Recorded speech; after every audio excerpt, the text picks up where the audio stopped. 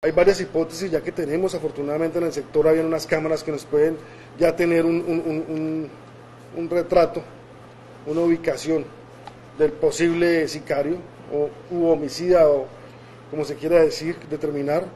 Parece ser y todo está enfocado en las investigaciones que procede con el problema de tierras y que era la persona equivocada para para, para asesinar en estos momentos. Desafortunadamente, pues cayó un hombre de 38 años, ya 15 días trabajando en, la finca donde se encontraba, estaba departiendo, llevaba dos horas departiendo en ese sector eh, en su descanso. Eh, desafortunadamente, pues llega un motociclista, eh, bueno, llega, llega, caminando el, individuo con vestido de negro, le dispara y huye en una motocicleta.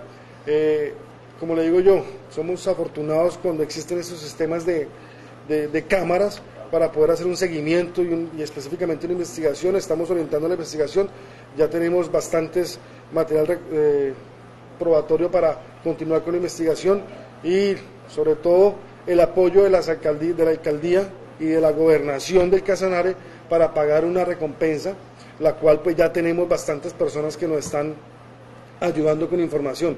Por ahora el monto de la recompensa van 3 millones de pesos, pero ya con la información que se tiene eh, y, la cual vamos a, cancelarle a, esta persona que nos ha dado esta información, ya podemos generar una hipótesis que siguiendo el hilo conductual de, la investigación, yo creo que próximamente, como ustedes se han dado cuenta, tendremos la orden de captura contra el individuo que le causó la, la muerte al joven de 38 años. Es decir, que las medidas que se han tomado desde la administración municipal han ayudado precisamente a mejorar ese trabajo que vienen realizando las autoridades en esta localidad?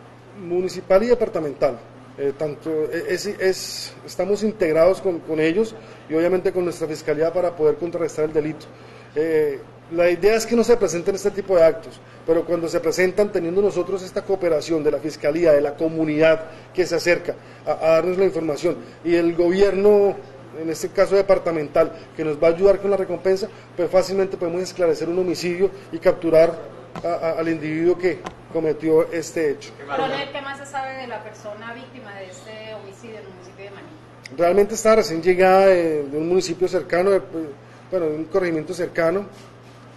Eh, eh, lleva 15 días trabajando como jornalero en esta, en esta finca, era, se ha convertido en la mano derecha del capataz una finca muy cercana aquí al municipio de Maní. pues básicamente lo que tenemos, 38 años, natural de Trinidad.